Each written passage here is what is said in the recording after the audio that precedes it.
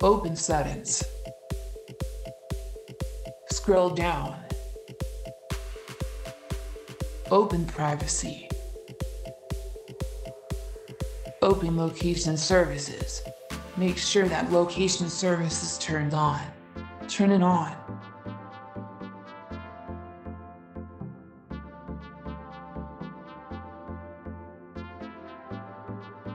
Open calls or contacts.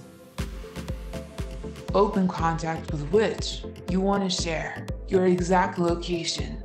Now, listen to me carefully. After we will share the location to this contact, we will also see for how much time he is able to see us.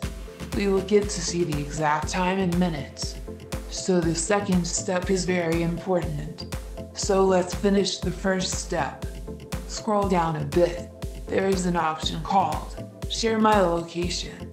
You can choose the timeline for which the location will be shared. Let me choose for an hour.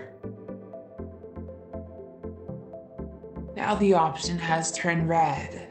Now I will show you how to see the details of this sharing. Now open search and type find. Open find my app. Now here you get a list of people you can share your location to. Just pick someone, and you can see the time, since he is able to locate you in minutes. You can get directions and do a lot of stuff around this app. That's really crazy. Please like this video and I will be so so so much happy.